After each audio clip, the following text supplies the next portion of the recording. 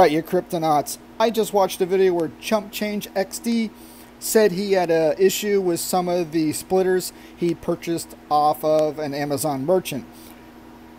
Amazingly enough, I just got a shipment in, but these came from, uh, I got these from Parallel Miner, and these are the 18 gauge PCIe 6 pin to dual 8 pin Y splitter extension. So 6 plus 2 pin cable, and they're about four four bucks each or so.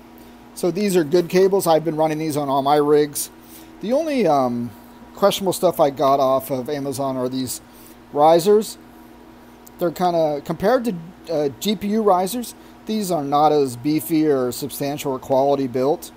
Uh, I prefer GPU risers by a mile, but this is all I could get at the time. I think GPU risers were sold out, but I am going to stick with GPU risers and parallel miner for my cables. There you go. Hope that helps.